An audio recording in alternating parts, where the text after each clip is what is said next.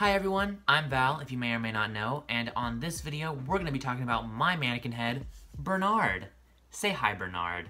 Just kidding, Bernard can't talk, he's a mannequin head. The story of Bernard is that he was my high school theater's mannequin head, which is usually the mannequin head that wears all like the costume wigs and everything. If you want to style a wig, you just put it on Bernard and, you know, style the wig. But the thing with Bernard was that he was like at least the first time I can remember seeing him, he had this face on him.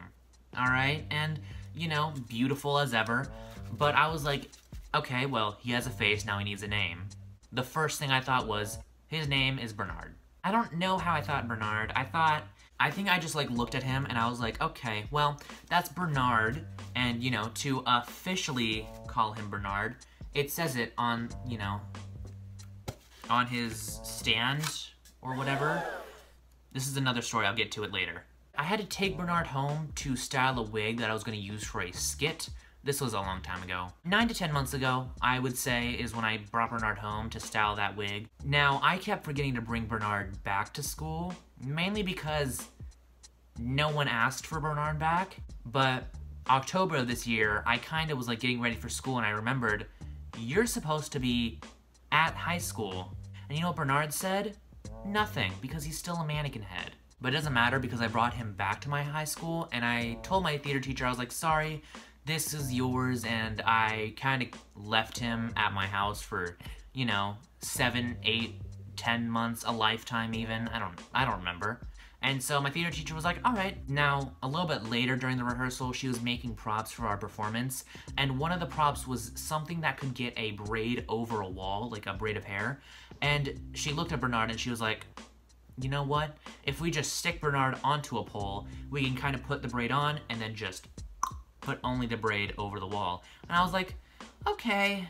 And so, without hesitation, she takes Bernard and just impales Bernard with a pole let me just say something is that I am not like trying to villainize my theater teacher. My theater teacher is one of the nicest people in the entire world.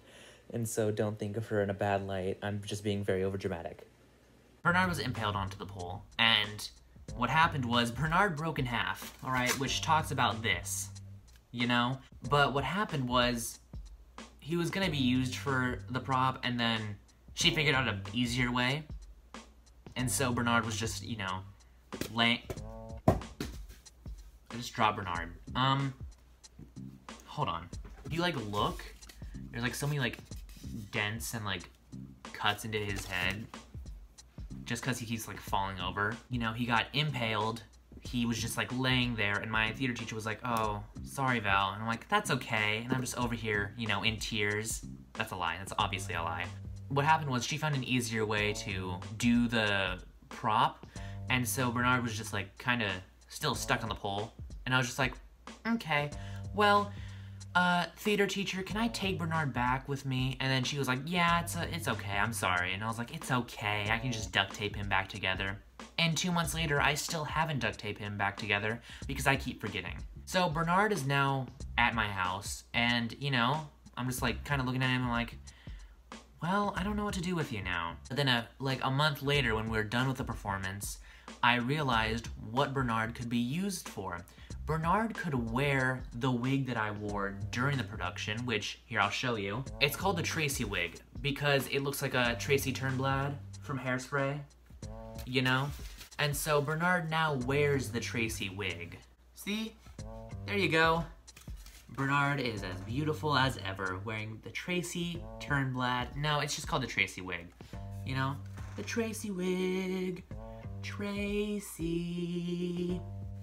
Anyway, oh, okay, this is kind of... So if you see Bernard in any future videos, I think it was in my, my, uh, first official video too, the hi video. Anyway, thank you all so much for watching. I really hope you enjoyed Bernard's story as much as I enjoyed making this video.